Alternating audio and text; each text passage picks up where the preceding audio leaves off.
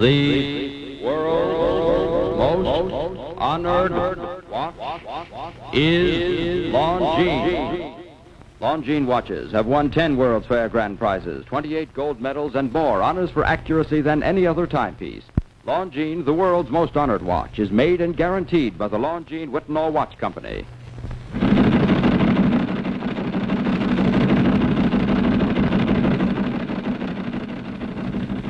It's time for the Longines Chronoscope, a television journal of the vital issues of the hour.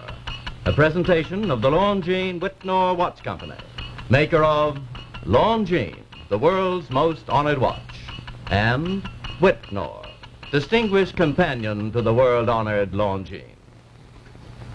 Good evening, this is Frank Knight. Our guest on the Longines Chronoscope this evening is Princess Alexandra Kropotkin a direct descendant of the first Tsar of old Russia. Her father was exiled from Tsarist Russia because of his liberal views.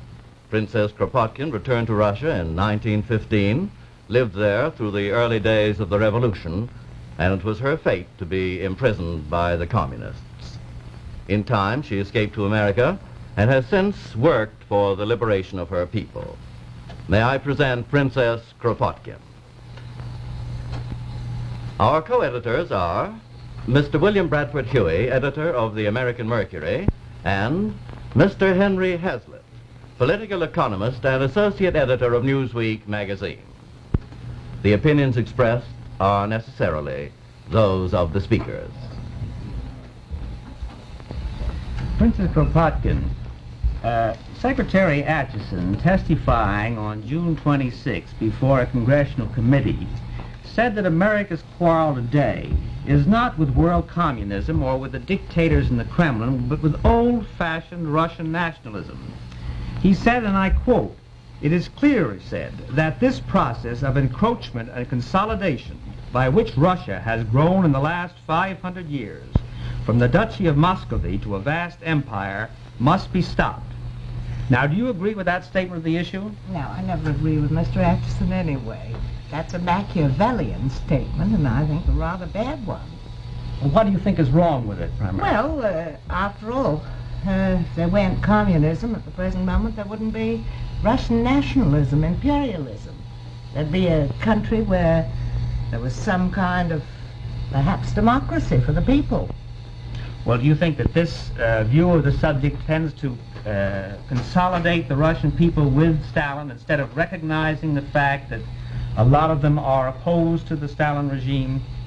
Well, 80% is supposed to be opposed and probably more.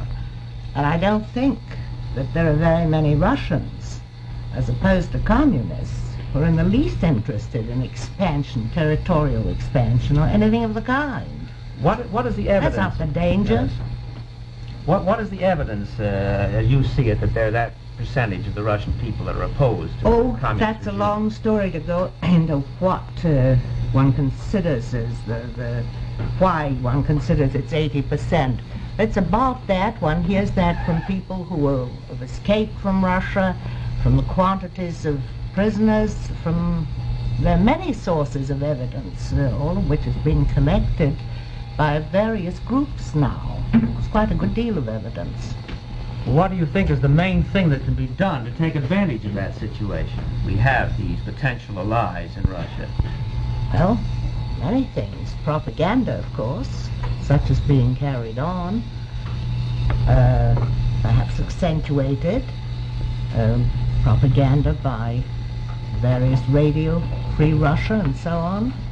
Uh, that is Princess playing Kropotkin. quite a part already. Yes, Bill? Pardon me, but uh, I think the American people would like to hear something from you about actual life in Russia.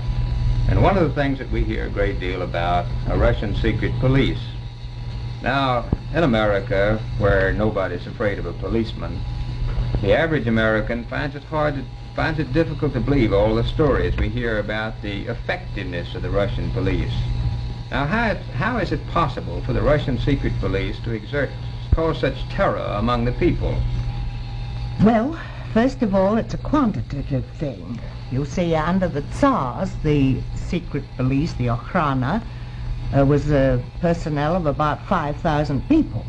In Russia today, there are over 2 million uh, MKD, MVD agents and so on. That's the Russian Communist Secret Police. Yes, and how many how many people, how many Russians would you estimate have been put in concentration camps? Well, that estimate varies. It varies from 12 to 20 million people.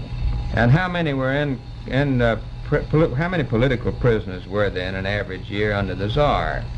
Oh, the figure never exceeded much over 50,000. That I was see. in prison and in exile and so on. You see, you ask how it's possible to have instilled so much terror. First of all, there is incredible poverty and so much difficulty and energy goes into every little thing that people need for everyday life.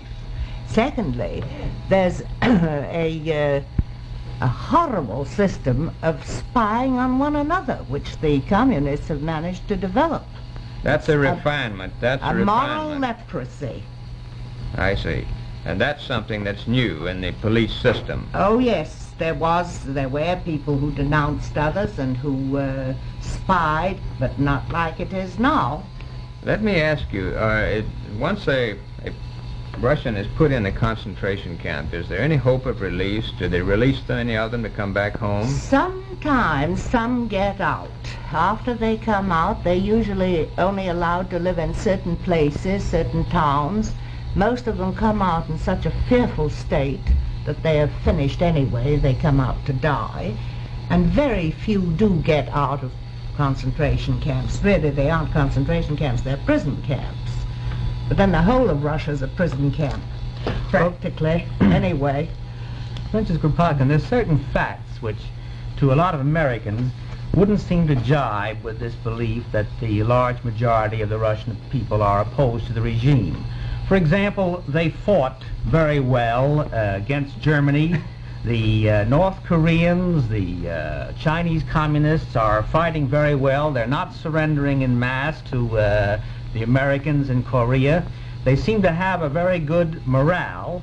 And if the satellites have that good a morale, wouldn't it be a good supposition that the Russian soldiers would have an even better morale? Russians have always fought well. They've never been cowards. That's a trait of the Russian people. But you've also got to remember that a great many of the younger people who were born under communism, they don't like the regime. They would welcome something different. But when it comes to fighting an enemy, they'll fight for any kind of government. They'll always fight. But during World War II, an enormous number of Russians went over and formed even a battalion in Germany to fight back against Russia. They all hoped that the Germans were going to liberate them, and if the Germans had behaved decently to the Russians, they would have had a tremendous number of volunteers. As it was, there were nearly a million. So you think if our propaganda were right and our treatment were right, if we ever did get involved in a war, why we would have wholesale desertions and there would be a quick uh, collapse of the regime there, perhaps? Possibly, yes. Uh, I certainly think that propaganda, when it reaches the Russians, and a great deal of it does now, uh, has an enormous effect. And also, if they knew what was going to happen to them. Uh, For, for instance, uh, I don't know if you know this uh, new word that's used not for deserters, but defectors. Well, now, there were, in 48 and 49, they used to come over to the American zone 50, 60 a day. Now there are only two. And the reason for that is that nothing special has been done for them. They don't know what's going to happen to them if they do desert and come into the American zone. Well, Princess, I'd like to ask you just a few questions about the nature of the underground and how we can make it more effective. Now, when I read uh, Gorky and Dostoevsky, I got the impression that the Russians were a natural conspiratorial people, that there was always a, a, a large group that was against the government, and militantly so.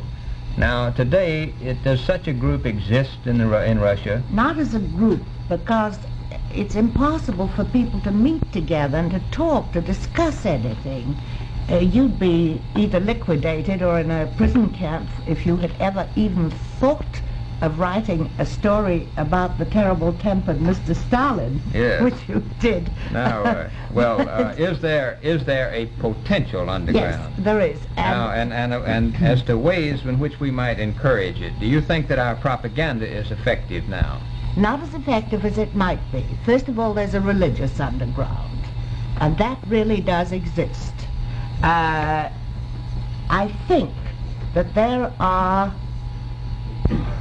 quite a few things to be done to step up propaganda. Well, what about the Voice of America? do Well- you think it's effective? all up to a point all the uh, all the radio stations which are carrying news into Russia are effective unquestionably they're reaching many people but I do think that they might uh, perhaps liven up the stuff Yes. a little bit And- it's a little Well, I- bit dull As a final question, I'd like to ask you, Princess Kropotkin, what do you think we could do now to drive a wedge? What's the first step we could take now to drive a wedge between the Kremlin and the Russian people? Well, I'm going to give you a peculiar answer. I think that if the representatives of the Kremlin in this country were treated to a little social ostracism instead of being invited to dinner parties, if they were ridiculed a little, and that went back on the radio, I think that that might have quite a little effect. And so you would say, in summing up, uh, Princess, you would say that there is a potential underground and that properly encouraged, it can be very hopeful for the Western world. I think so. I think it can be the most hopeful thing in the world because it's probably the only way out of a war. Yes. Well, thank you very much for being with us. The editorial board for this edition of the Longines Chronoscope was Mr. William Bradford Huie and Mr. Henry Hazlitt. Our distinguished guest was Princess Alexandra Kropotkin. The little black-mounted magnifying glass that the watchmaker holds like a monocle in his eye is called a loupe. After years of observing watches of all kinds, new and old, the man with the loupe becomes an excellent judge of watches. And we're proud of the fine letters about Longines watches, which come to us every day from long-established watchmakers. A typical communication reads, The quality of Longines watches is beyond compare. As an experienced watchmaker, the fine workmanship commands my admiration. After years of observation of Longines and other watches, I am convinced that no watch gives so much satisfaction as a Longines, nor lasts so long. Yes, indeed. The man with the loupe knows why Longines watches have won 10 World's Fair grand prizes, 28 gold medals, and so many honors for accuracy in fields of precise timing. Superlative quality through and through makes Longines the world's most honored watch.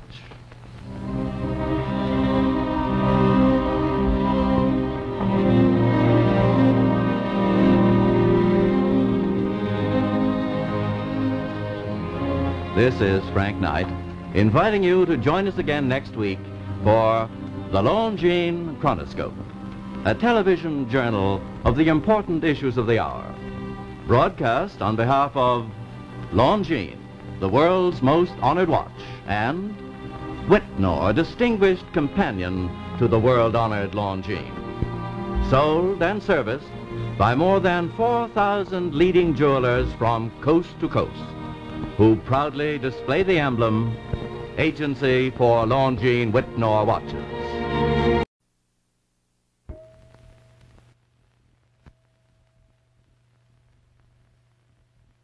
The world's most honored watch is Longines. Longines watches have won 10 World's Fair grand prizes, 28 gold medals, and more honors for accuracy than any other timepiece. Longines, the world's most honored watch, is made and guaranteed by the Longines Wittnauer Watch Company.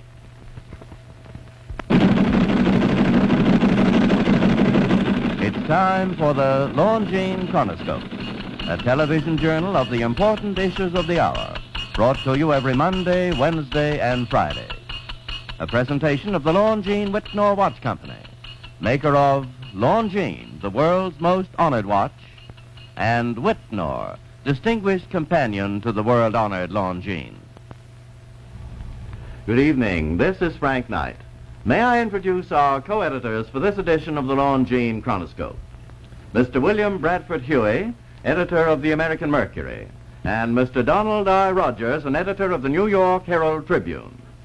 Our distinguished guest for this evening is the Honorable Charles B. Brownson, United States Representative from Indiana. The opinions expressed are necessarily those of the speakers. Congressman Brownson, our chronoscope audience knows you as the young freshman congressman, a Republican from Indiana, who was so instrumental in defeating the uh, Universal Military Training Bill. Now, we all know that the bill has been defeated, but we hear rumors that it's not quite dead and that there may be more uh, news, more activity from that direction. Could you update us on that, sir? Yes, I think I can. As a matter of fact, last week when I was taking the elevator up to the House chambers, I happened to ride with Carl Vinson, the chairman of the Armed Services Committee. That time he told me, quite off the record, that uh, he felt that he would be out with a new UMT bill, which would be so modified that even I could go for it. Do you of course, I had to I had to tell him that I doubt that very much because as long as there's any of that old UMT bill done up in a package, no matter how much cellophane and pink ribbon they put on it, I'm afraid I can't buy that kind of a program. Well, but it shows that they are working on it. Just what's your opposition to the old UMT bill, the administration UMT bill? Oh, yeah, there are a lot of points there, Mr. Rogers. In the first place, it's terribly expensive. The first year will cost over four and a ten, one tenth billion dollars, and after that, it'll cost over two billion dollars a year. Now, The two billion dollars. When? The first year would be the first year it's in effect. Of course, uh, Mr. Vinson sort of let the cat out of the bag as to the extent he was willing to go in compromising when he introduced his amendment on the floor of the House to make UMT non-effective until 1955. But the expense is a terrible factor. That two and one-tenths billion dollars, for instance, amounts to more money than it costs to send all of the young men and women in the United States that go through college or university to school. Well, now, sir, let's simplify this just a bit for our audience, uh, many of whom have uh, young sons. Now, is it true today, sir, that every young man approaching ev 18, every young American, must anticipate that he'll have to serve some time in military training? I think you're absolutely right, Mr. Huie. Of course, right now the draft is taking all of the available All right. Now, whether we call we it have. whether we call it draft or the UMT or whatever we call it, uh, every able-bodied young man has to uh, face some sort of military training now, doesn't he? Right. And uh, so the, uh, your argument, the argument is over what type of military training he's going to get. Isn't That it? is exactly. You're right. not opposed to universal No. military training. No, not at all. You're just opposed to the bill. As What a matter of fact, the issue I think is very clear cut. The issue is that we have to find some way of getting non-veteran reservists to replace the veteran reservists I- on whom we now depend. But before we get to that point, since every man must face it, and there are two plans now for it. One is the government plan, uh, which is uh, being led or by Mr. Vinson, or advocated by Mr. Vinson, chairman of the House Armed Services Committee. And the other is your plan, or the plan that's been evolved by you and a group of freshman congressmen in the House. Isn't that, that is correct? right. That's right. Now, uh, how, what are the major differences between the government plan and the plan advocated by the young, by the freshman congressman? I might put it this way. Ours is uh, evolutionary and theirs is a little revolutionary. We're taking the high school ROTC type of program, which has existed now for many, many years and which now trains 62,000 youngsters All right, now every number, year in American high school. number one, their plan would take all young men that go off for training, they'd take them away from home. That is for a is time. correct. Your plan uh, envisions keeping them at home. We keep them at home where they're subjected to their home environment and the influences of home, church, and school. Would they get no uh, military training at a post, a regular military No, camp? not at all, Mr. Rogers, because after their two senior years of high school, their junior and senior year, they are then taken to a six weeks summer camp where they receive training in the particular branch of the service which they have chosen or to which they've been assigned. And presumably they would also receive pay for this six They do, weeks. that's right. They But receive not pay. as not as ROTC No. students. Yeah. All right, now your plan first would keep them at home more. That is right. Now, what is the second advantage that you the second claim for your advantage is we do not interrupt his educational progress. Our plan fits into his summer vacation and his normal high school instruction. A young man who's going to take a long technical course in college isn't faced with the possibility of having to extend his education another year because of UMT. I believe Mr. Vinson, as the government spokesman, has called your plan the kindergarten plan. Is that a fair criticism? No, I don't think so, because if my plan is the kindergarten plan, Mr. Vinson and his Committee on Armed Services have been engaging in a lot of kindergarten activity for several years because they have had high school ROTC almost since the National Defense Act of 1917 authorized it. And has the high school ROTC plan been uh, uh, called successful by the military? and It has worked very well. Several of the executives on reserve affairs have stated that many of the non-commissioned officers in the early and critical days of World War II and many of the aviation flying cadets were young men who had received their first military training in high school ROTC and who jumped out ahead of the group as a result of that practical Now, now you want to keep them at home, sir, and you have also, as a congressman, you've been investigating military expenditures. Now, you, will your plan uh, be less expensive for the taxpayer than the plan advocated by the government? We estimate that it'll only cost about 15% as much. For instance, just to give you an example of what's happening right now, in high school and college, the Department of Defense is able to state that they are training 202,141 high school and college ROTC students for a total cost of $20 million. That includes all the instructors, equipment, that type of thing. Out-of-pocket expense is actually running $11.56 a piece a year. All right, now it's now costing... Contrasted to what, sir? contrasted to the two billion one hundred million dollars which it will cost to train the trainees under the administration plan, which calls for one instructor Well, for each two trainees. I mean per student. Now you say this is eleven dollars and fifty-six cents per student. that's eleven fifty six plus about a hundred dollars that comes out of the twenty million. Yes. All right. Now, what would the UMT, the administration's UMT plan About cost per twenty-eight, student? about twenty-eight hundred dollars to train one student for six months, which I think is a little high because I understand you can go to Harvard or Yale for eighteen or nineteen hundred dollars for a whole school year For very months. comfortably. Yes. That's right. Now, it, it costs $2,800 tr- for the government to train one young man for six months, That is right. And it cost $1,800 for a young man to go to Harvard for nine months. That's right. And uh, you, you think that that's too much money. I think something is wrong. I think there's a lot of empire building in there. A lot of new commands will be created and, and a lot of extra staffs and a lot of high Well, do you and stuff. contend that the military training the child, or, or we can't call him a child, the young man, the student, will receive under your program will be comparable or as good as the military training he'd receive? Yes, I absolutely do. If you stick to basic training, which is the only thing Congress ever authorized in Public Law 51, which is the basic legislation behind this whole plan. That's what we used to call branch immaterial That's training. That's right, exactly. infantry. I Yes. see I have a comrade in arms here.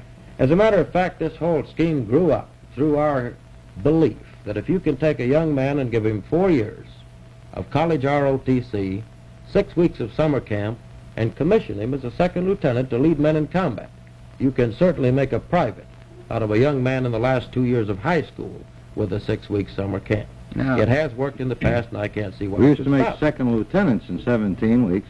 That's right. And Now- some pretty good ones, I might add.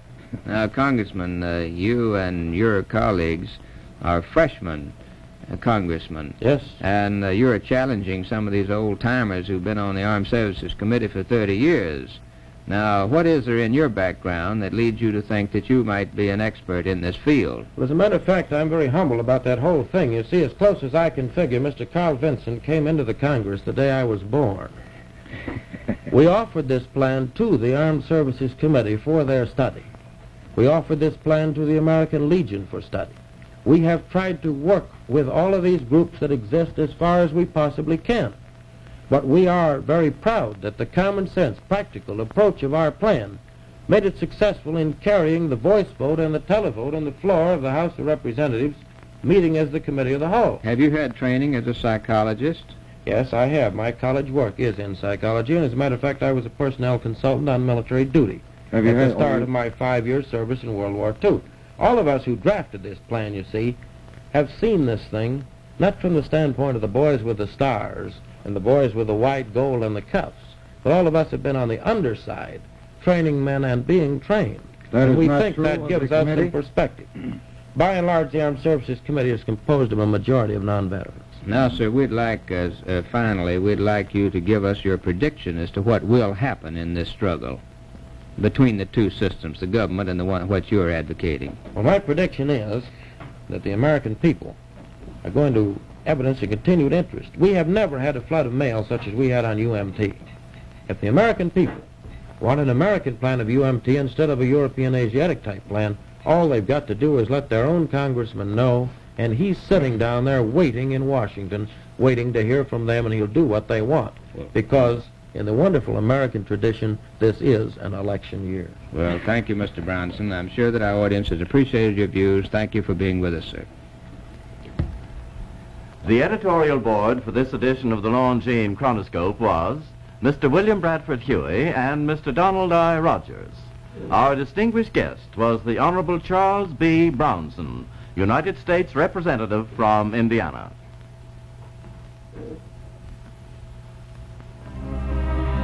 Do you have the problem of selecting a gift of great prestige for someone important to you?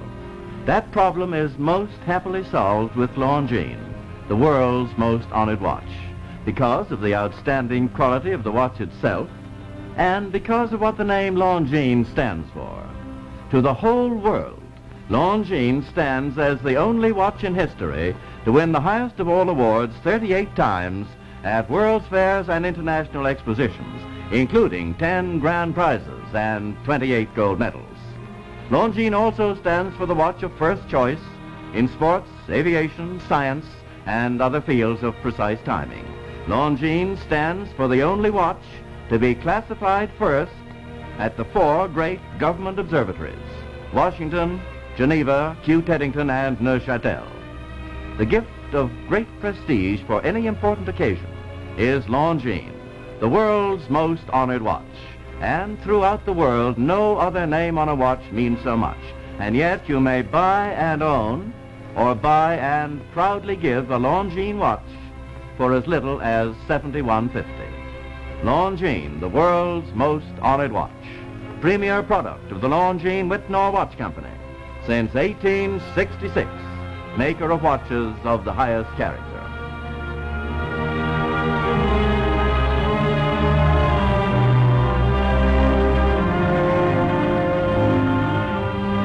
We invite you to join us every Monday, Wednesday, and Friday evening at this same time for the Longines Chronoscope, a television journal of the important issues of the hour, broadcast on behalf of Longines, the world's most honored watch, and Wittnauer, distinguished companion to the world-honored Longines. This is Frank Knight, reminding you that Longines and Wittnauer watches are sold and serviced from coast to coast by more than 4,000 leading jewelers who proudly display this emblem, Agency for Longines Wittnauer Watches.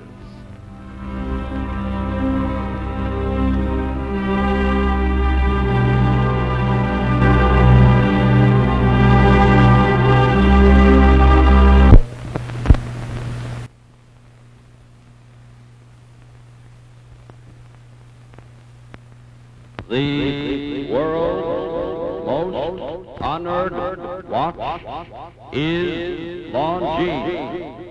Longines watches have won 10 World's Fair grand prizes, 28 gold medals, and more honors for accuracy than any other timepiece. Longines, the world's most honored watch, is made and guaranteed by the Longines Wittnauer Watch Company. It's time for the Longines Chronoscope, a television journal of the important issues of the hour, brought to you every Monday, Wednesday, and Friday. A presentation Longines Wittnauer Watch Company, maker of Longines, the world's most honored watch, and Wittnauer, distinguished companion to the world-honored Longines. Good evening. This is Frank Knight.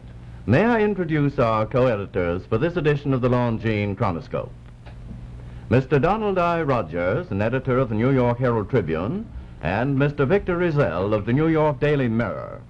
Our distinguished guest for this evening is the Honorable Christian A. Herter, United States Congressman from Massachusetts. The opinions expressed are necessarily those of the speakers. Congressman Herter, our audience knows of you as a member of the House Foreign Affairs Committee and as a leading Republican in Congress. Uh, I wonder if you'd speak to us, sir, tonight a bit about the foreign affairs of our nation. I think perhaps the most pressing foreign problem, or perhaps the most talked of foreign problem, is whether or not General Eisenhower will run for president. As a Republican, of course. Well, there, obviously, I've got to express my own opinion. I happen to be very enthusiastic for General Eisenhower as a candidate for the on the Republican ticket.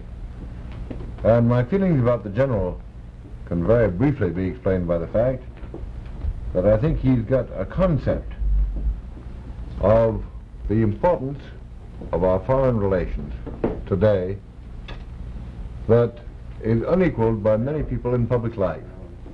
And I have the very deep conviction that our foreign relations condition almost everything that happens in our domestic affairs.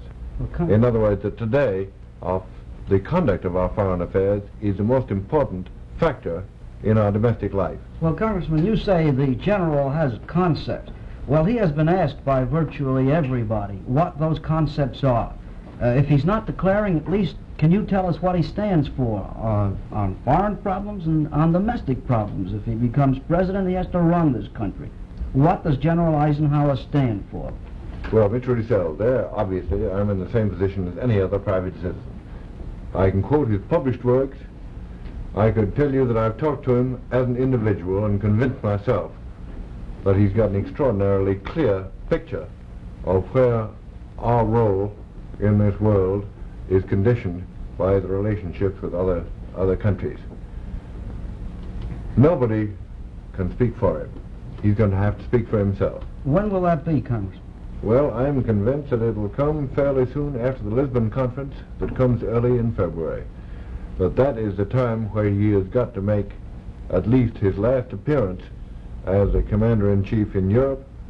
Now, I'm, again, speaking without authority, I'm guessing, but I think it will come very soon after that. Is there any political significance in the United States, any political events which might uh, hasten his decision in declaring himself?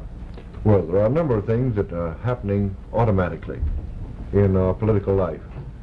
The New Hampshire primaries come on the 10th of March. Under the New Hampshire law, at the end of January, the 29th of January to be exact, the Secretary of State of New Hampshire has got to notify any potential candidate whose name may go on the ballot, and Eisenhower's will certainly go on the ballot in New Hampshire, that he has 10 days in which to withdraw his name from the ballot if he sees fit to do so. But don't the Democrats have the same prerogative? They have the same prerogative, and I think at that stage of the game, the general has got to make up his mind whether he's willing to have his name go on the Republican ballot and whether he's willing to have it taken off the Democratic Either or, huh? Well, Congressman, there's been uh, a great deal of conjecture, and obviously you're convinced he's going to stand for the presidency of the United States if he can get the Republican nomination. Do you think he can get the nomination if he declares? Yes, I do. I think he's been handicapped.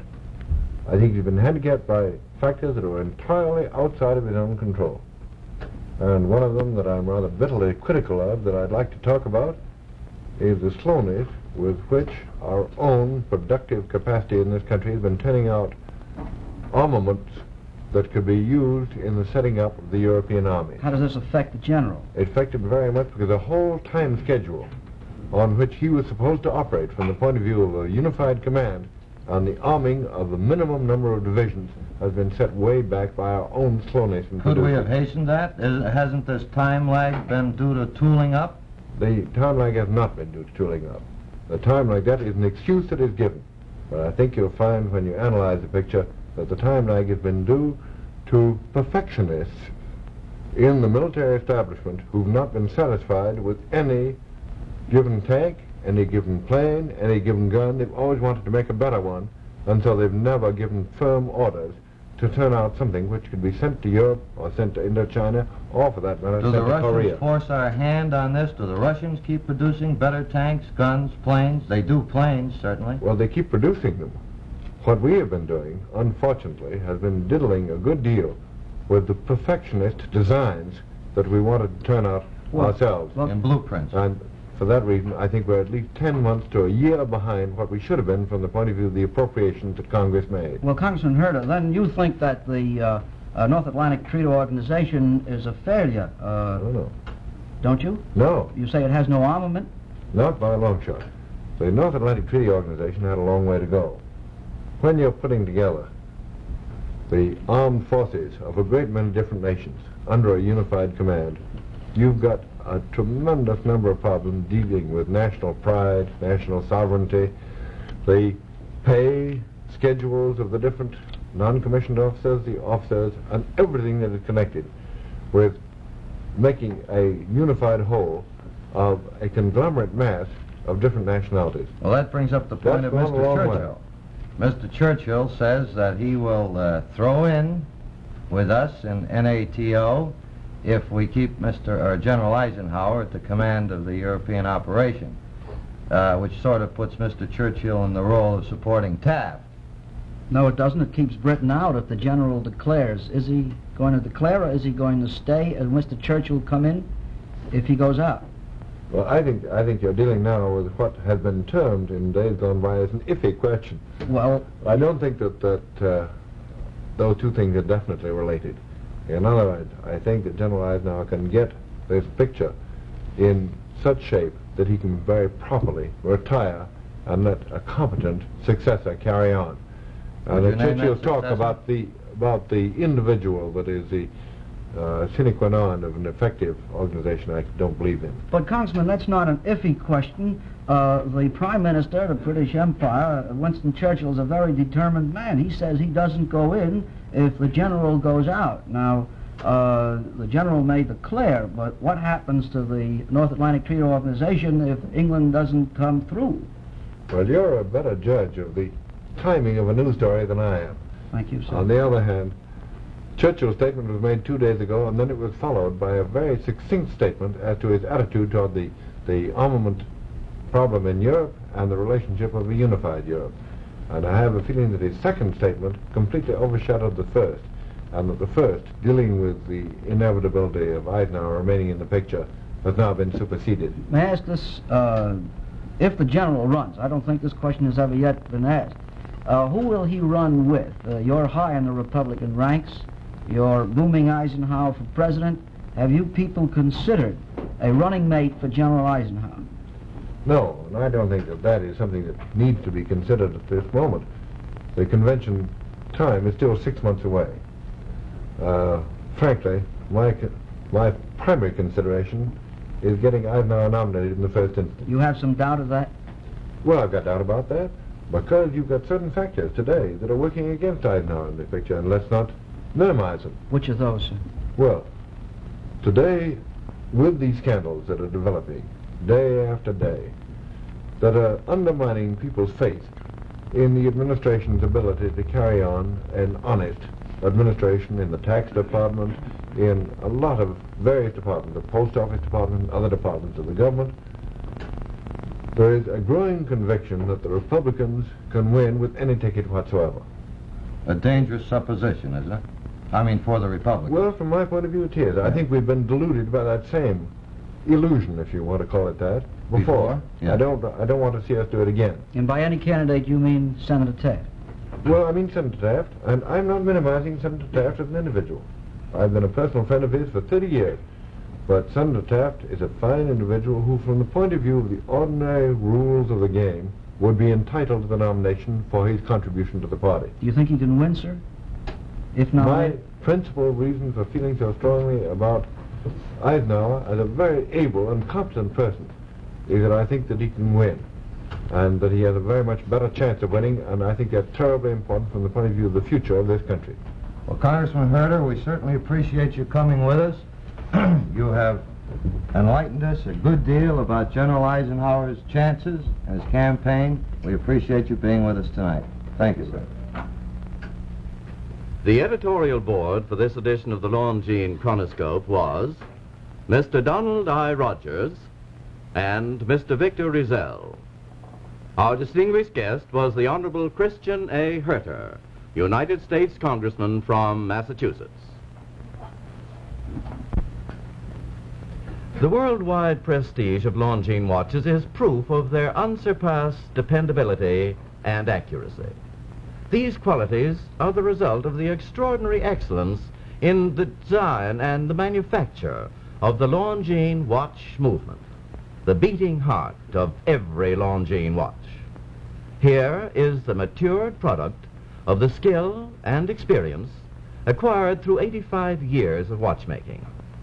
The ultra-slow motion camera reveals the smooth, flawless mechanism of the Longines balance assembly, the guardian of the accuracy of the watch. Through his magnifying glass, the skilled watchmaker sees, in addition, the precious hand finishing of essential parts, which makes the Longines watch so superior, so outstanding.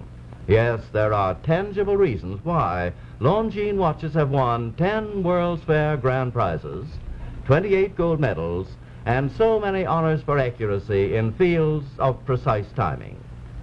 When next you buy a watch, for yourself or as a gift, remember, if you pay 71.50 or more for a watch, you're paying the price of a Longines, and you should insist on getting a Longines, the world's most honored watch. Premier product of the Longines Wittnauer Watch Company since 1866 maker of watches of the highest character.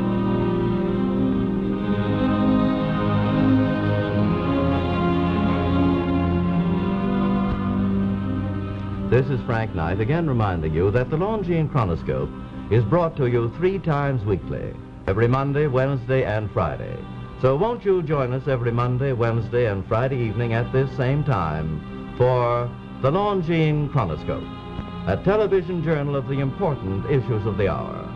Broadcast on behalf of Longines, the world's most honored watch, and Wittnauer, distinguished companion to the world-honored Longines sold and serviced from coast to coast by more than 4,000 leading jewelers who proudly display the emblem Agency for Longines Wittnauer Watches.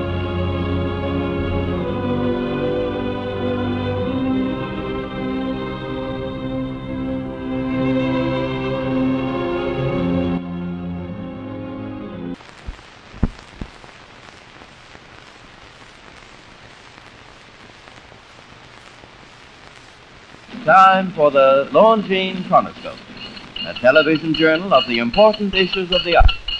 A presentation of the Longines Wittnauer Watch Company, maker of Longines, the world's most honored watch, and Wittnauer, distinguished companion to the world-honored Longines. Good evening. This is David Ross. May I introduce our co-editors for this edition of the Longines Chronoscope, Mr. William Bradford Huie and Mr. Richard Waddell, management editor of Business Week magazine. Our distinguished guest for this evening is the Honorable Clifford Case, United States representative from New Jersey. Mr. Case, many of our viewers, of course, know that you're a veteran congressman from uh, Rahway, New Jersey. You've been in Congress since 1944, haven't you? That's right. And uh, particularly during the last few weeks, you've been a part of Operation Commodore. You've been a part of these uh, people who've been sitting down in the Commodore Hotel and uh, getting the new administration ready to uh, take over. Now, sir, there's a lot of public interest in, in what you've been doing at the Commodore, and the first question is this, sir. Is all of this organization work that you've been doing for the new administration, is this an unprecedented effort? Has it ever happened before? So far as I know, it is unprecedented. Uh, certainly nothing like this has happened uh, in the past 20 could, years. Could you give our viewers some indication of the size of the effort? How many people have been em- employed in it?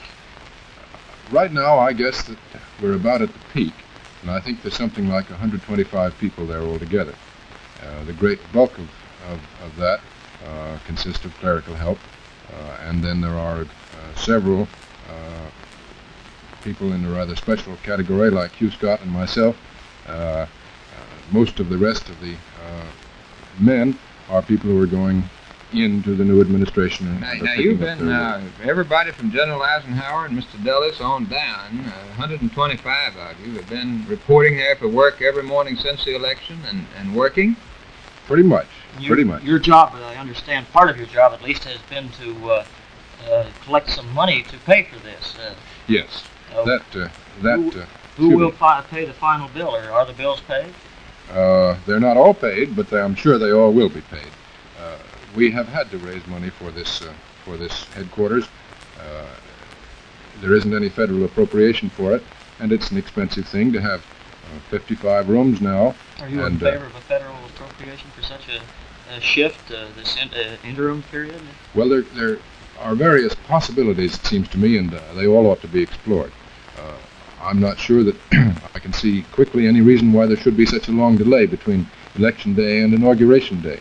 Uh, and and uh, the purpose, of, of course, of the whole operation is to make this transition from one administration to another as smooth as possible without any lag. How much does the operation cost, sir? What's Well, been the uh, weekly cost of it? Uh, it has gradually increased as the president-elect has named additional uh, people to his staff, and they have come to the headquarters and taken up their duties. Uh, right now, I expect it's something like in the neighborhood of twenty-five thousand dollars a week. And and how are you paying the 25000 now? How are you paying Well, part of it? A, a considerable amount. Uh, I don't know exactly what it uh, would total.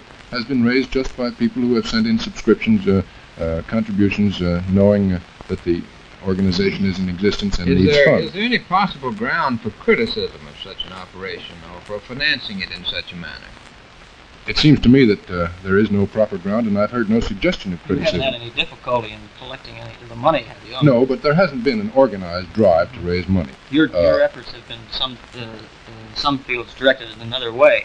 Uh, Oh, yes. You have uh, done some other things. Uh, there's been some talk that you've uh, uh, been uh, looking over the congressional list to find out those whom you think might be the proper uh, men to uh, carry out some of Eisenhower's program. Well, I, I ought to say right now that uh, my position and uh, and uh, Congressman Scott's position too uh, has not been that. Uh, we are not in any way assigned to that to that job by the administration uh, or the incoming administration. Uh, we are there uh, to do everything that has to be done for which our experience and, and you have uh, some ideas on how qualifies. the uh, uh, rapprochement, rapprochement between Taft and Eisenhower is going to work out. Uh, do you think it will be smooth? I have every confidence that uh, that uh, there will be a complete, completely harmonious uh, uh, operation between Senator Taft and, and Congress in general and the President. Senate, uh, Congressman, since you have, since you are an original Eisenhower man, and since you've had all this experience in helping to prepare the way for the new administration, I'm sure that you can give our viewers some valuable hints as to what to expect when the show moves on down to Washington on the 20th. Now, sir, specifically, uh, is anything dramatic likely to happen uh, during the first few weeks after Eisenhower becomes president? Well, in the sense that I think your question implies, no. Uh, there has been a very dramatic uh, happening extended over the period beginning uh, about 8.30 on uh, election day and continuing right on now, and it's going to continue. But in the sense of, of, of dramatic and spectacular moves, uh, I don't think that uh, that they are in the in the wind. This is going to be a, a process which uh, uh, is a solid uh, accomplishment rather than a spectacular one. The war in Korea is not likely to end quickly, or taxes to be reduced drastically, or any New Deal legislation be repealed suddenly. Do you think that they'll should Uh, well, uh, uh, Mr. Hewitt, I, I'm sure that the kind of thing that your question implies is not going to happen that way. I, I know uh, my, I have the deepest confidence that we are going to get the war in Korea ended sooner than we would otherwise. Uh, the taxes will come down sooner than otherwise they would, uh, and that uh, sound legislative programs are going to be enacted and good things carried out and developed further. But I don't look for uh, a lightning stroke of the kind I think you mean. Yes. Well, there'll be differences, uh, uh, undoubtedly. Well, one of the differences, and the one one that I'm interested in, is the the business men who have gone to Washington, or well, gone to the Commodore, and will be going to Washington. Uh, do you think that their uh, organization of the of the executive branch of the government uh, will uh, improve and even save money for the government as a an operation? I'm sure that the administration uh, will do that, uh, and that the wisdom and ability that that the leaders from business whom Eisenhower is is, putting in his cabinet and in his administration will be of, of great help in that direction. Yes. Now, sir, who are the who are the brain trusters of this new administration? Well, uh, that again implies that there's a little coterie of people behind the scenes who are running the show. Uh, and uh,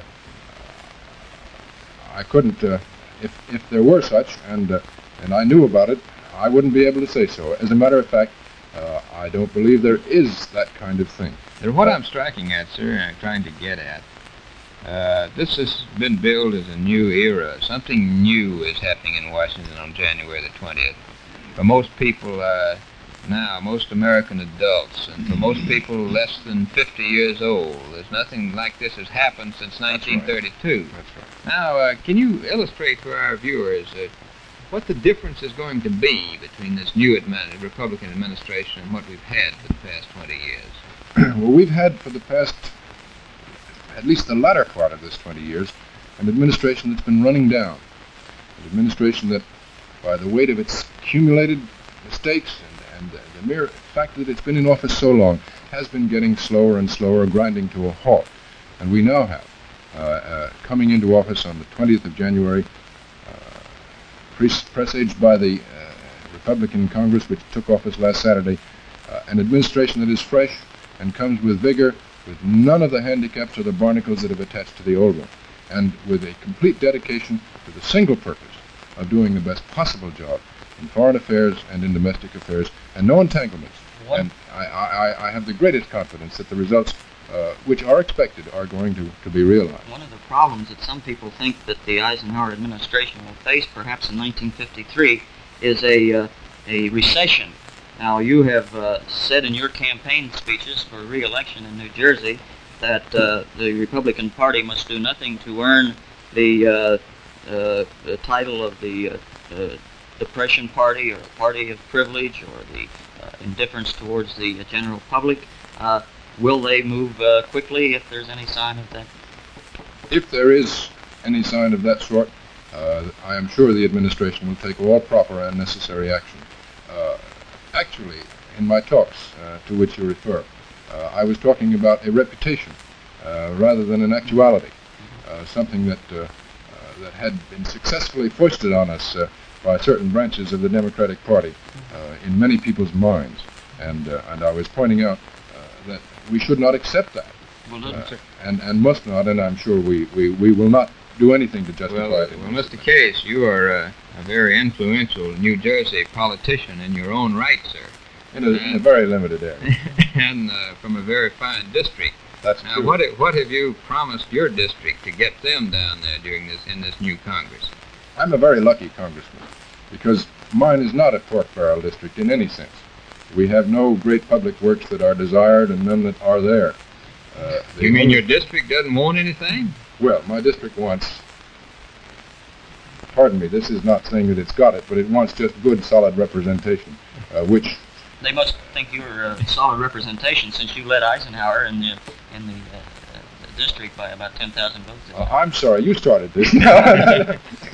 and let those facts speak for themselves. That was a little bit special, and there were special reasons for that. Would you accept the candidacy for governor? As some people uh, say that you are going to be offered that. Well, that would be a most flattering offer. I don't believe anybody in political life would turn it down. But I'd prefer to wait till it was offered before I say yes. As a final question, sir, uh, uh, that it's been said that the new administration is going to be weak on on politicians. It is going to have a lot of businessmen, but there aren't going to be any very experienced politicians in the administration itself. Now, do you think that there's going to be a shortage of politicians? No, not in the right sense. Uh, both in the in the in the administration itself, and the executive side, uh, and of course in Congress, where we have experienced politicians, men from way back who know the trade and properly. Uh, I, I am sure that we will get. to, we will have no difficulty in handling the political side of this thing in a proper way. Well, thank you very much for being with us this evening, sir. The opinions you've heard our speakers express tonight are entirely their own. The editorial board for this edition of the Longines Chronoscope was Mr. William Bradford Huie and uh, Mr. Richard Waddell, management editor of Business Week magazine. Our distinguished guest was the Honorable Clifford Case, United States Representative from New Jersey. Discriminating people the world over find in Longines the qualities they seek in a very fine watch. Greater accuracy, for instance. Now, the record of Longines watches in observatory accuracy competitions is unexcelled. Over the years, Longines watches have established many records, won countless awards for individual watches and series of watches in the great observatories, Neuchâtel, Geneva, Washington, Kew Teddington, and of course, Longines is the only watch in history to win 10 World's Fair grand prizes and 28 gold medal awards. If you too are interested in a watch of superior quality, either for yourself or as an important gift, you will choose well to choose Longines, the world's most honored watch. For a Longines watch offers you exclusive styling, impressive appearance, greater accuracy, and the assurance of a long, long life. Yet you may buy and own or proudly give a Longines watch for as little as 7150. Longines, the world's most honored watch, the world's most honored gift, premier product of the Longines Wittnauer Watch Company, since 1866, maker of watches of the highest character. We invite you to join us for the Longines Chronoscope, a television journal of important issues of the hour, broadcast on behalf of Longines, the world's most honored watch, and Wittnauer, distinguished companion to the world-honored Longines. This is David Ross, reminding you that Longines and Wittnauer watches are sold and serviced from coast to coast by more than 4,000 leading jewelers who proudly display this emblem, Agency for Longines Wittnauer Watches.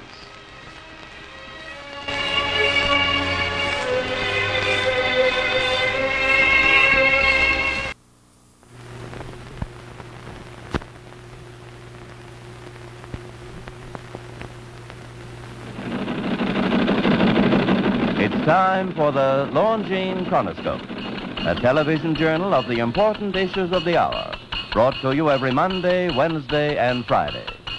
A presentation of the Longines Wittnauer Watch Company, maker of Longines, the world's most honored watch, and Wittnauer, distinguished companion to the world-honored Longines. Good evening. This is Frank Knight. May I introduce our co-editors for this edition of the Longines Chronoscope?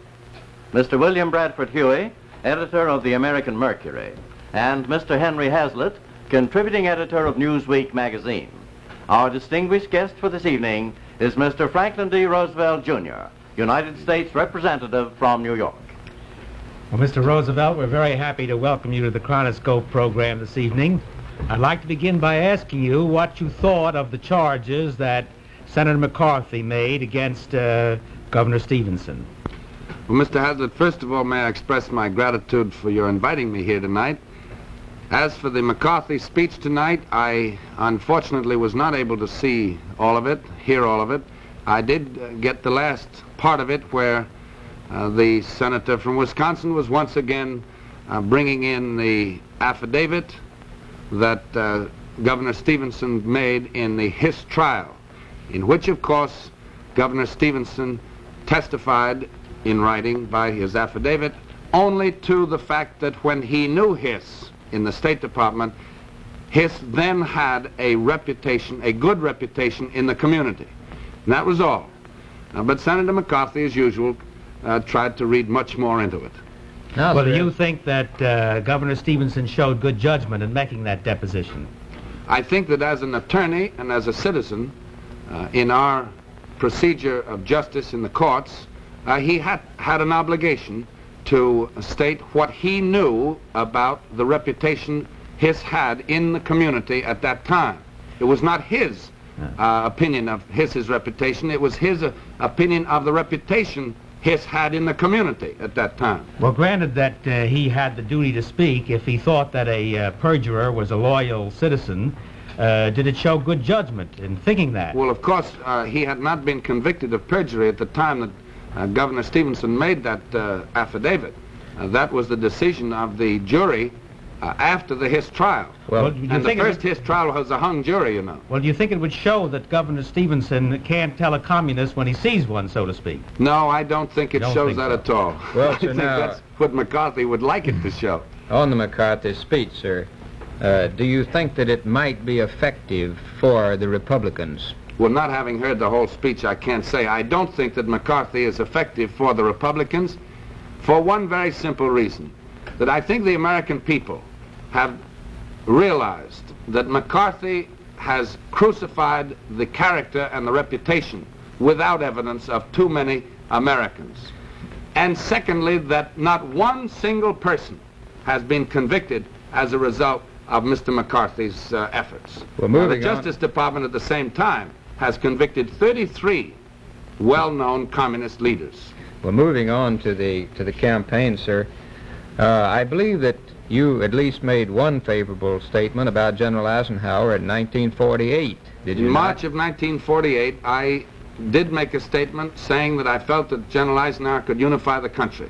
Now, I sir, when, when did your uh, enthusiasm begin to lag for General Eisenhower? Within the three weeks that followed that statement, I discovered that the impressions that I had of uh, General Eisenhower's position on the issues uh, could not be verified, and that General Eisenhower did n- neither uh, would express himself on the issues, nor was he a candidate.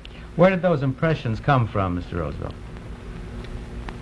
That was 1948. I'd say that they probably were a general idea that people had about the fact that Eisenhower at that time uh, certainly was a very humane and a great military leader, and uh, certainly was highly respected both here and, and throughout the world. I think he still is respected and, and admired as a great military leader. Well, now, about the campaign that the Democrats have waged against General Eisenhower, do you feel, sir, that uh, any of the charges leveled at him have been unfair? Well, I uh, haven't documented all the charges that have been leveled against him. I've been pretty busy being positive in this campaign on behalf of Governor Stevenson and, of course, my own reelection. I'd say that uh, the main charge against General Eisenhower has been not that he has failed to repudiate McCarthy and Jenner, who crucified uh, his own great uh, hero, General Marshall, uh, but that he has positively gone out and endorsed these people, the very essence of the old guard Republicans.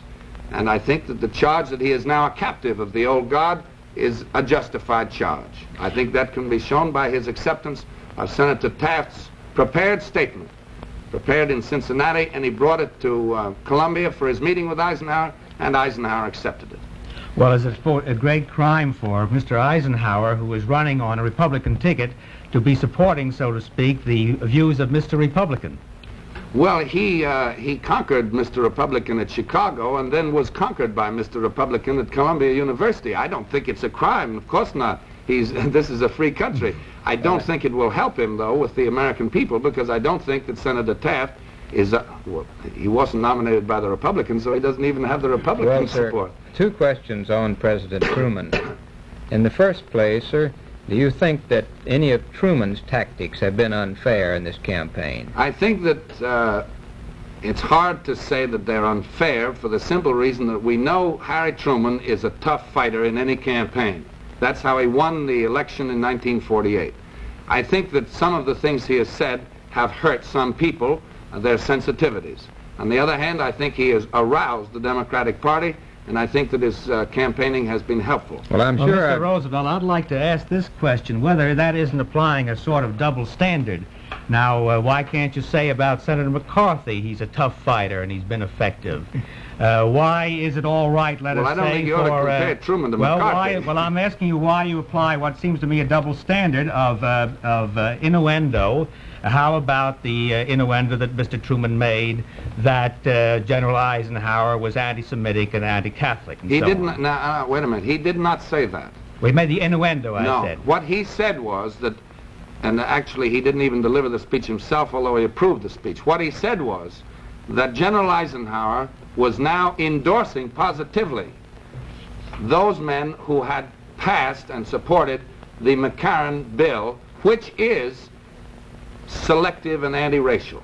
Mr. Roosevelt. It's anti-Polish, it's anti-Italian, it's anti-Eastern European, and so forth. Well, Governor Stevenson hasn't been repudiating any of the candidates who, the Democratic candidates who favored the McCarran There's a difference bill, between repudiation and endorsement. That's all that Truman said, that Eisenhower has gone out of his way to endorse these candidates. Well, hasn't Mr. Stevenson endorsed some of the people who voted for the McCarran Act, the Democrats? I, I don't know. I don't uh, know if uh, Governor Stevenson has endorsed anybody. It hasn't been heralded, such as the endorsements of McCarthy and. Mr. so Roosevelt, I'm sure that our viewers want to know something about you and your own campaign. So you, after all, you represent one of the big West Side districts in New York City. Right. Now, how's your own how's your own campaign going? Well, I've been spending five days a week, uh, four or five meetings a night, uh, meeting with my constituents, discussing the issues with them. I have a very interesting district. It's a very independent district. I'd say that it is liberal, it's progressive. Of course, I hope they uh, re-elect me to Congress. Well, uh, you won on a Four Freedoms uh, platform, didn't you? the Uh, first yes. time I ran, I, I ran on the Liberal Party candidacy and also the Independent Four Freedoms Party It- candidacy. it's a traditionally Democratic uh, constituency, isn't it? No, I'd say that it's traditionally independent. Uh, in, in 1949, they elected me. I was not the Democratic candidate. Uh, then they voted for uh, Mayor Impellitteri quite overwhelmingly when he ran as an independent in 1950. And they voted for uh, Mr. Halley when he ran as an independent and a Liberal Party candidate in 1951. And uh, one other question about the family, sir. I believe that uh, one of your brothers is supporting General Eisenhower. Now, Yes. is this unusual, a defection in the Roosevelt family like this? No, I, I don't think it's particularly unusual. We practice what we preach in the uh, Roosevelt family. We believe in freedom of speech, freedom of thought, and the right of everyone to express himself freely And- if he feels called upon to do so. I frankly, though, I don't think Johnny's going to influence any votes. I don't think I am, but I think my mother is. Well, what are, is your mother taking an active part in the last few days of the campaign? She certainly is. She's introducing Governor Stevenson to the Madison Square Garden rally tomorrow night. And as, as a final question, Mr. Roosevelt, uh, do you expect any dramatic moves in the last part of the campaign? No, I don't look for any dramatic moves. Uh, I think that General Eisenhower shot his wad when he said he'd go to Korea personally. What he'd do when he got there, he didn't say. I think that the American people will vote to continue the prosperity under the Democrats and continue the hope for peace in the world through the United Nations, the Point Four program, and NATO. Well, thank you, sir, for being with us. Thank you. The opinions that you've heard our speakers express tonight are entirely their own. The editorial board for this edition of the Longines Chronoscope was Mr. William Bradford Huie and Mr. Henry Hazlitt.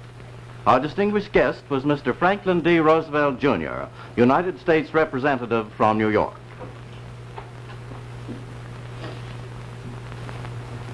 During the past weeks, the words of some of our speakers, spoken during the heat of the political campaign, have evoked considerable comment and occasional criticism. Now, at this time, the Longines Wittnauer Watch Company puts aside its usual commercial message to give our editors an opportunity to explain to you the policy of the Longines Chronoscope. For this purpose, we present Mr. William Bradford Huie. As a magazine editor, about uh, once a year, I give a policy statement to the readers. And tonight, as an editor of the Chronoscope, I'll give a policy statement to you. Longines Wittnauer began this program first on a once a week basis, and now for more than a year, we've operated three times a week uh, over a very large nationwide network. And we are pleased that uh, so many of you have liked the program. Now, here's what we do. Regardless of political persuasion, we bring the most important people in America right into your living room. We seat them comfortably, and then, in a forthright but friendly manner, we ask them the questions that we think you would like to ask. And in doing this, we take risk. It's a hazardous business of bringing uh, uh, guests into other people's living rooms. And sometimes, when we bring a rather controversial character on one side or the other, uh, you don't like him.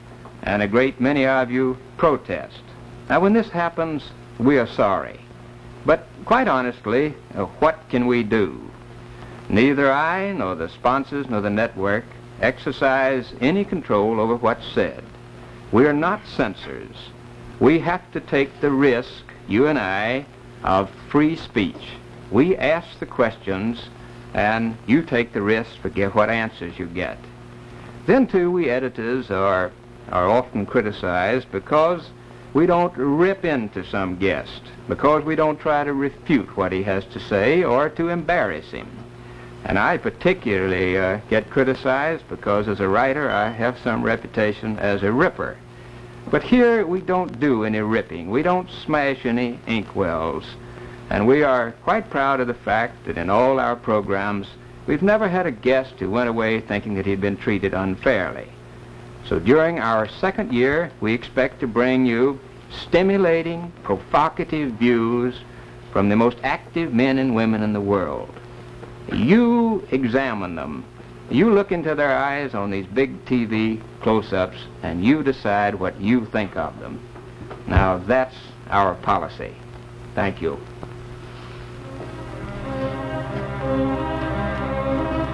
We invite you to join us every Monday, Wednesday, and Friday evening at this same time for the Longines Chronoscope, a television journal of the important issues of the hour.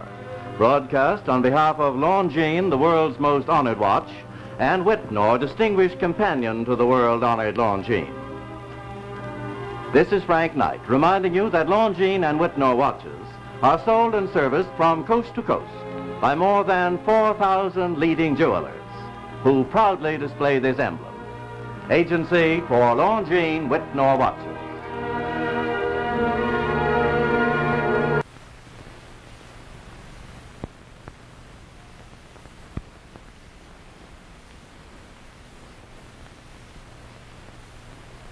Chronoscope, a television journal of the important issues of the hour, brought to you every Monday, Wednesday, and Friday.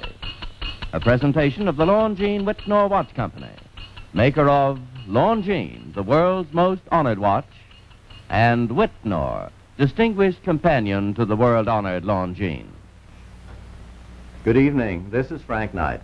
May I introduce our co-editors for this edition of the Longines Chronoscope?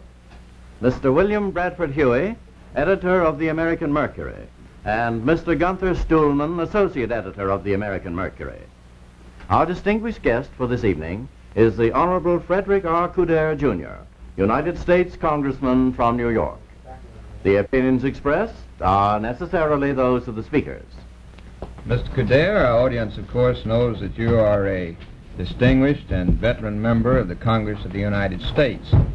And tonight, uh, since there is a lot of interest in the presidential campaign, uh, some of our audience, uh, I'm sure, would like to know something of the problems of the 435 congressmen who are running for re-election.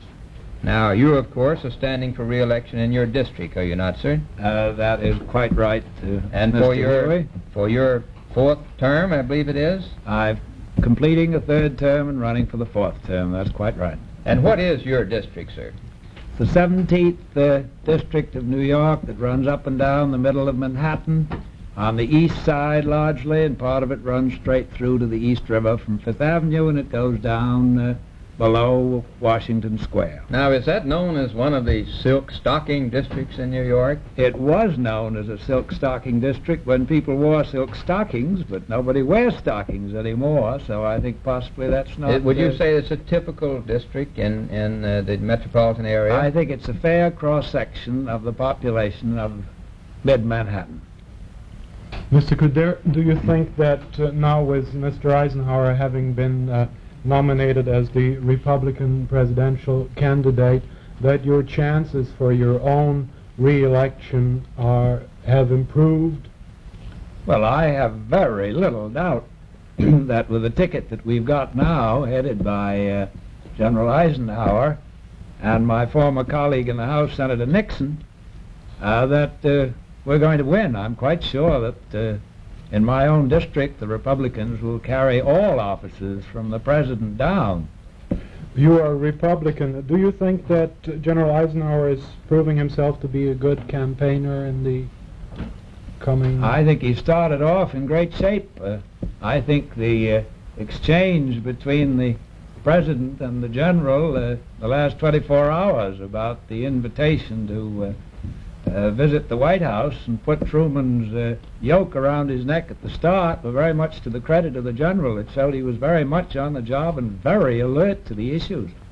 You, you don't uh, believe then, as some critics have charged, that uh, General Eisenhower may not uh, be the type of man who can make the case against the Democratic Party? By no means. I think he'll make the most of it, and I think he'll supply the uh, most effective leadership. I think we're going to have a fine, smashing campaign that's going to result in victory. Myself. And you think that uh, that most of the uh, of the Republican uh, members of Congress who are carrying on their campaigns in their own districts, that they are, are satisfied with the national ticket and the help that they will get from the national ticket. As far as I've been in contact with them, yes, of course I can't speak for all 435. Well, I now in New York, New York State, of course, is a pivotal state in this election, and there's a great deal of conjecture as to how the state will go. Now, in 1948, I believe the state uh, went for Governor Dewey, but uh, that was largely because, uh, or may have been because, Mr. Wallace was running and polled a very large vote. Now, this year, without a third ticket in the uh, in the picture, how do you think New York State's likely to go? Well, obviously, it will be a good deal more difficult to carry New York without uh, the help of a split in the opposition. But I think uh, all of our Republicans are going to stand firmly together. Uh, I think they're going to make this fight without reservation. I think the issues are very great and very important. And I'm personally uh, confident that the people of New York will appreciate the issues sufficiently uh, to throw out the Democratic administration in Washington and elect General Eisenhower. Well, now the uh, the the uh, various voting groups in New York. Do you think that General Eisenhower will poll will run strong among the labor groups, the the u- labor union groups in New York State? It's my own impression that there's a very large element among the so-called labor vote that will vote Republican. They voted Republican before. Uh, and not so long ago, if you'll remember, a great many of them must have voted for Bob Taft in Ohio when he was reelected. And I think they're tax conscious, and I think they're conscious of inflation, and I think a great many of the so-called labor vote will support the Republican ticket. Mr. Coudert, there has been a lot of talk about the so-called Negro vote. What do you think about the Negro vote in New York State? Well, of course, I can only yes, I, I can only speak for the Negro vote in New York State. Uh, my own impression there again, uh, based upon my knowledge of that, uh, Eisenhower is going to get a great deal of support, I think, from the Negro vote, and rightly so, because it's New York State, after all, that was the pioneer in the Anti-Discrimination Acts. I think the New York legislature was the first uh, state legislature to pass the act, and I think uh, many of our New York Negroes realize that there's far more chance of achieving their aspirations and objectives uh, under a Republican administration in Washington than under a Democratic administration. Well, let's come quickly down to to the problem in your own district, sir. Now, uh, I believe the presidential uh, candidates are waiting probably until Labor Day to launch their campaigns. Are you waiting until Labor Day to start your campaign? No, no, Mr. Huie, I am not. I have been campaigning unceasingly since about the 15th day of July when uh, opposition uh, petitions were filed in the Republican primary. So I have a primary fight on my hands first, which comes to a head on primary day on August 19th. And after that, if enough Republicans come out to vote for me, I shall have the fight against uh, the Democratic Liberal Party candidate through to election day. Well, that's So, uh, that's uh, that's a very interesting situation for our audience because you've actually been out uh, rubbing shoulders and shaking hands already with your constituency.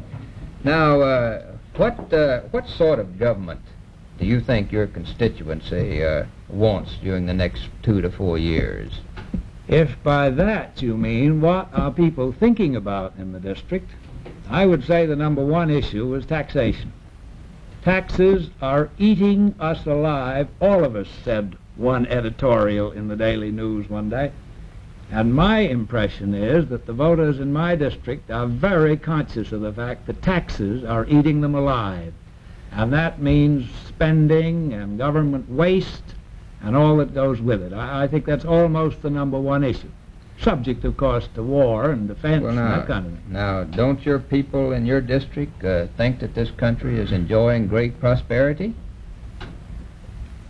I think a great many of our people are, are, are aware of the fact that that's on an artificial foundation, on an inflation foundation, and they're scared to death of where it's going to lead them. And they'd like to get down to a firm foundation of balanced budgets, less public spending, and less taxation. That's the kind of thing that means uh, a solid, stable prosperity which assures the future and, more than anything else, assures the future value of the dollars that they save and are now making. Uh, Mr. Coudert, do you think that uh, after the election, if the Republican Party should win the election, a balanced budget will be possible? Do you think with the armament effort and everything that is going on today, it is really possible to reduce taxes and uh, work with a balanced budget? Because that's a very big question, but I think there's a pretty clear answer to it. Certainly, there's a far greater chance of balancing the budget on a lower level and reducing taxes in a shorter time with a Republican administration, with Eisenhower in the White House and Republican majorities in both houses. We'll get a much more prudent financial management. We'll have far less waste. We'll have very, we'll have no corruption, and we'll have efficient management. That's bound to mean very large reductions in spending you- and ultimately taxes within the very near future. Well, now you say that your people are, that you think your people are most concerned about the reduction of taxes. Now, is that because of some special characteristics of your constituency? I don't think so. I You don't have any farmers in your... I don't happen to have any farmers, and I suppose perhaps it's because uh, in a city district like mine, there are fewer people who are getting government handouts. So they're less conscious of the handout aspect of government than the pay-in taxes aspect of the government. Your, your constituents are, are, on the paying in They're on the paying out end, I and they're see. very conscious of it, and they don't like it a bit. I see. Now, sir, uh, d- do you think this? Do you think that there are likely to be any surprises this year? Do you think this is likely to be an extraordinary election year in which things that even the political seers uh, won't foresee? You think that in, on November the 5th, 1952, that we're likely to wake up with some surprises? Well, I think Governor Stevenson and the Democrats may have some surprises. Uh, it's my impression that there's a very deep-seated and passionate demand for a fundamental change in Washington. I think people are so anxious for a change that they're not going to accept any mere change of face, such as Truman to Stevenson. And they're going to insist upon the kind of a change that only comes with a change of party. You And- think that, that perhaps there's a large group uh, in the center, for instance, that uh, that may surprise uh, some of the uh, people who are predicting the election results? That's my confident hope. I think that's what's going to swing the election. Well, Mr. Coudert, I'm sure that our audience has very much appreciated your views tonight, and thank you for being with us, sir. Thank you for letting me come. I've enjoyed it. The editorial board for this edition of the Longines Chronoscope was Mr. William Bradford Huie and Mr. Gunther Stuhlman. Our distinguished guest was the Honorable Frederick R. Coudert, Jr., United States Congressman from New York.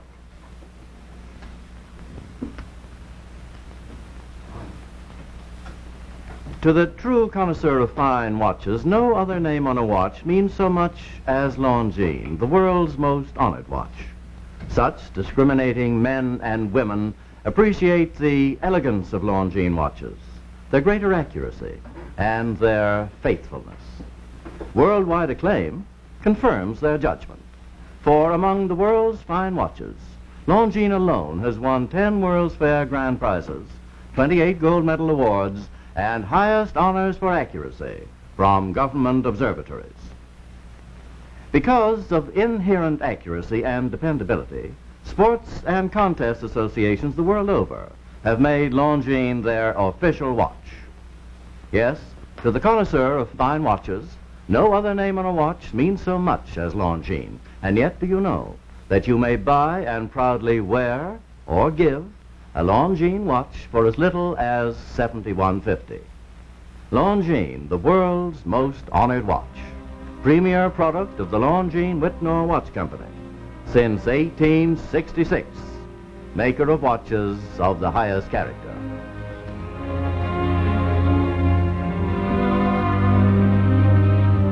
We invite you to join us every Monday, Wednesday, and Friday evening at this same time for the Longines Chronoscope, a television journal of the important issues of the hour, broadcast on behalf of Longines, the world's most honored watch, and Wittnauer, distinguished companion to the world-honored Longines. This is Frank Knight, reminding you that Longines and Wittnauer watches are sold and serviced from coast to coast by more than 4,000 leading jewelers who proudly display this emblem. Agency for Longines Wittnauer Watches.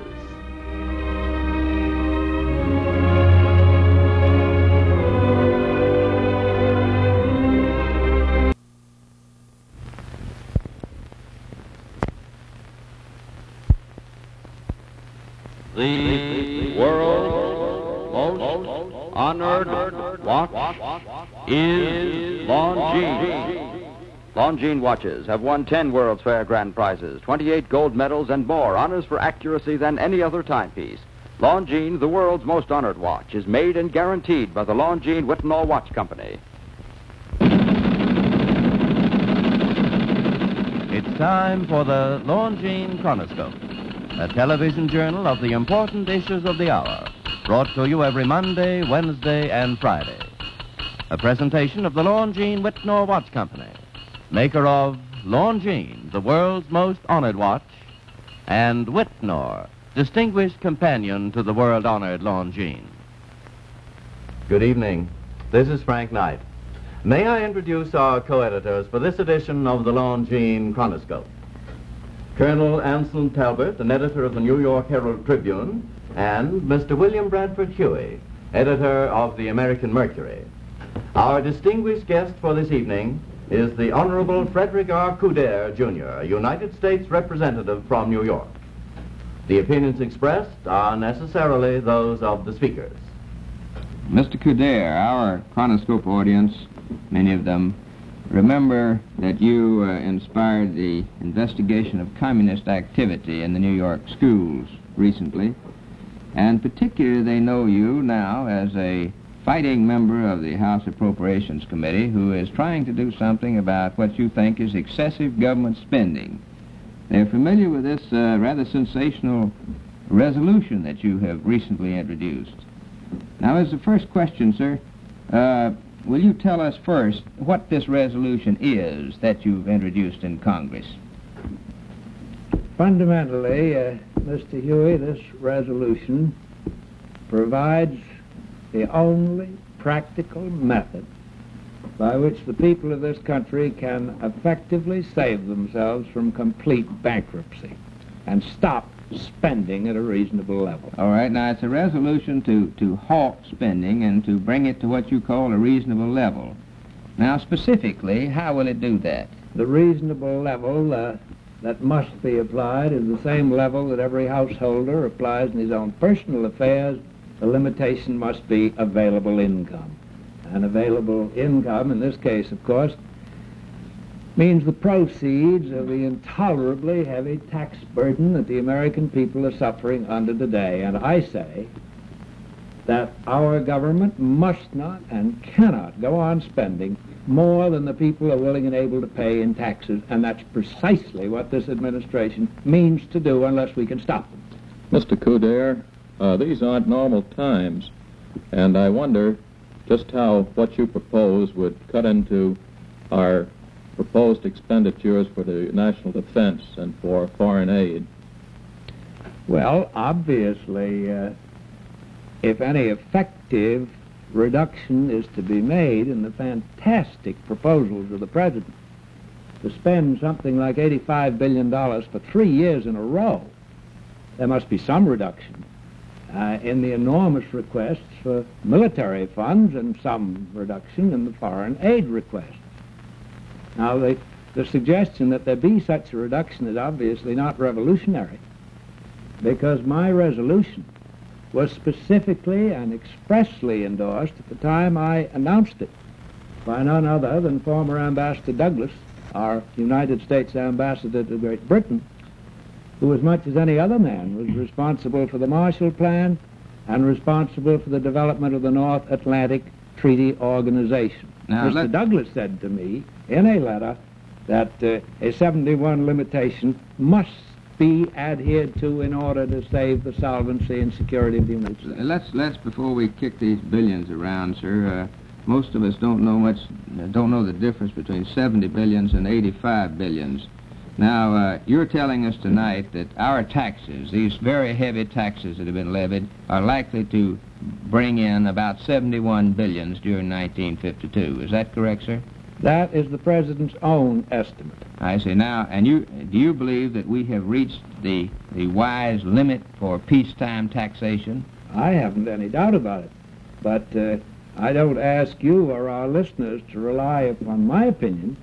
Senator George, who's chairman of the Finance Committee in the Senate, a Democrat, and Mr. Doughton, who is chairman of Ways and Means in the House, which imposes the taxes, and a great many others in the Congress have said we've reached the limit. There aren't going to be. Now, more there, you're saying that there is an agreement between both Republicans and, and Democrats that 71 billions is a tax limit now, that we can't go above that. Agreement isn't exactly the word. There's recognition, that the Recognition. people won't pay any. Recognition. And the president wants to spend 85 billions or 14 billions more.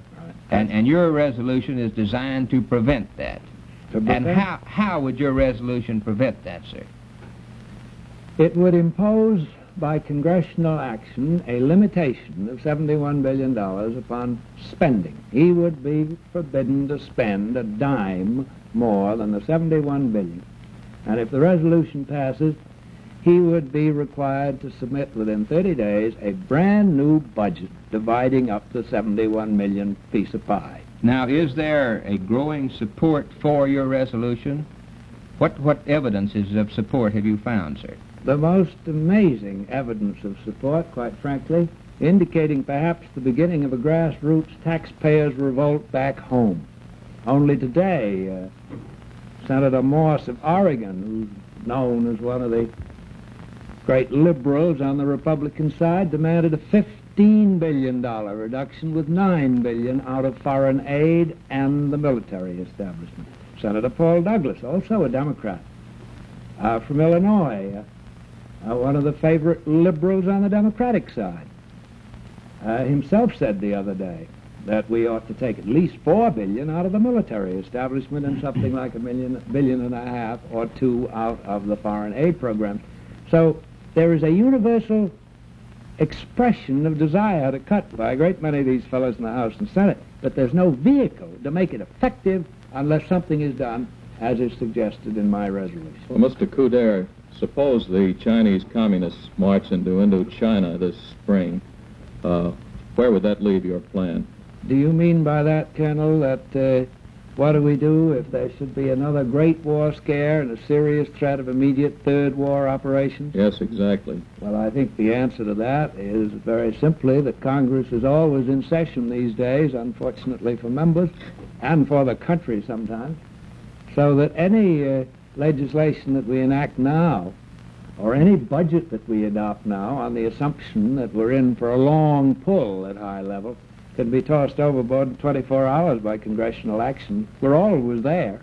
Would, would your uh, budget plan prevent enactment of uni- uh, legislation for universal military training? I don't think it would affect the matter one way or the other. If the administration and the professional military honestly wanted a UMT and were honestly determined to develop a UMT as an alternative to the present uh, intolerably large standing forces, there'd be enormous savings in it. But I don't, I'm not so sure they mean to use it that way. I'm going to wait and see. Congressman, for our listeners tonight, can you illustrate quickly just how these budget arguments in Congress affect the average American family?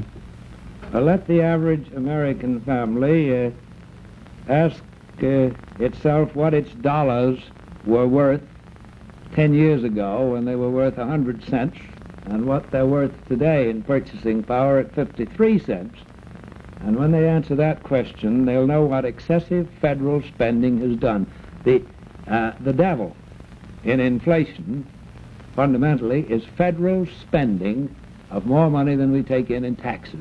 That is the source of inflation, and that is what every American is paying for every morning uh, in the cost of his breakfast food and his, and his dinner and his radio and his car and everything else. Are you saying that if your resolution can be passed and if the government is held to 71 billions spending this year, that that will reduce the threat of inflation? I think it's the surest way to limit inflation and to reestablish something like a sound financial basis in the United States so that people can look forward with some measure to security and certainty in their day-to-day operations, always barring, of course, the possibility of an all-out war, which would upset all plans, uh, obviously.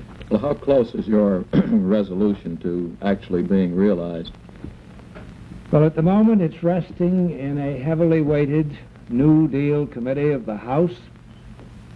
Uh, a great step forward was made uh, last Monday or Tuesday when the Republican Policy Committee unanimously endorsed it uh, with a very strong statement by Minority Leader Joe Martin of Massachusetts. I think that means that uh, having made it a party issue, our people will press for it. And enough Democrats have committed themselves to the general proposition of substantial reduction that I'm sure if it ever can be gotten to the floor, it will be passed. Now, sir, there are some people I know that would like to help you. Uh, would you like, uh, I'd like your prediction as to whether you can do something now and whether you can get this resolution passed and what can any average American who would like to help you, what can he do, sir? Mr. Huie, uh, despite any fears to the contrary, we are still living in a free country. Americans are still masters of their fate if they choose to assert themselves. All we need is a real grassroots revolt. There is nothing more sensitive uh, on earth than a member of Congress in an election year. All they've got to do is hear from the folks back home, and believe me, they'll get action. Now, I believe, sir, and to sum up for our audience, I believe that you say that you are trying to force the government to spend only 71 billions and only what we, will be realized from taxes, that you think that you can accomplish that if there are enough American citizens who will write to their congressman and try to impose a system of economy on the present government. Thank, thank you very much for being with us, sir. The editorial board for this edition of the Longines Chronoscope was Colonel Ansel Talbert and Mr. William Bradford Huie. Our distinguished guest was the Honorable Frederick R. Coudert, Jr., United States Representative from New York.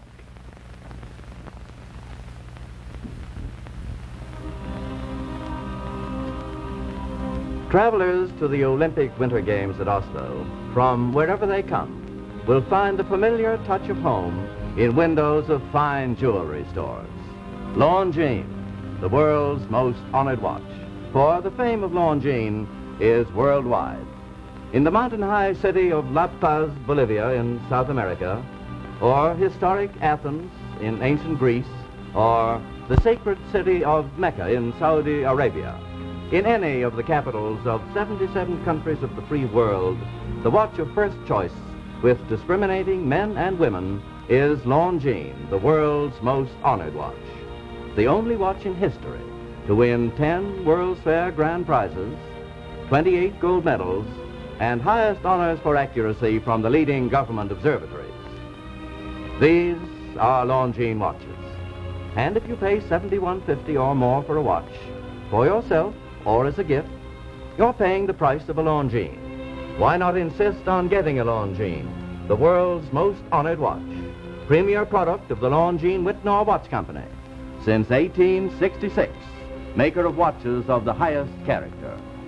Longines, exclusive official watch for the Olympic Winter Games of 1952.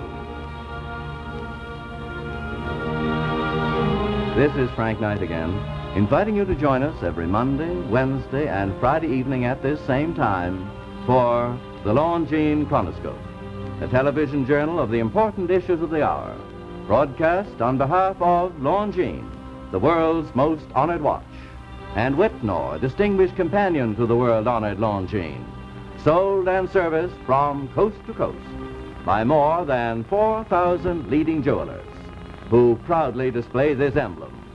Agency for Longines Wittnauer Watches.